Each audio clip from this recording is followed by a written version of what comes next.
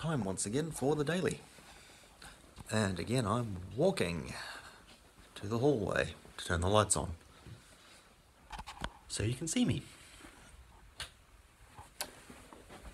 So yeah, didn't do much today. Um,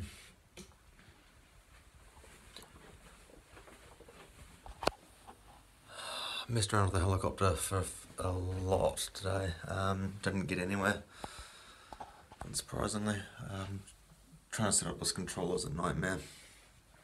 I've gone through like I've literally done it step by step through the manual, but it's still not working properly. So it's back in the box again, which is usually what happens. I get frustrated with it, stick in the box, and in the cupboard it goes for like a year. I've put feelers out on the internet to try and get someone to help me, but so far nothing, so not surprising. Apart from that, gave the house quick clean. That that takes long. Again, it's not dirty or anything, it's just putting stuff away. Um, so, yeah. Uh, put rubbish out this morning. Forgot to do it last week. Um, and I think I forgot the week before. So yeah, finally went out. it's empty, which is good.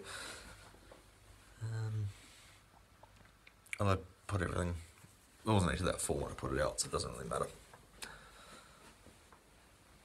So after a quick clean up, it was a little bit more full, so nothing major. Um, yeah, aside from that, I watched a movie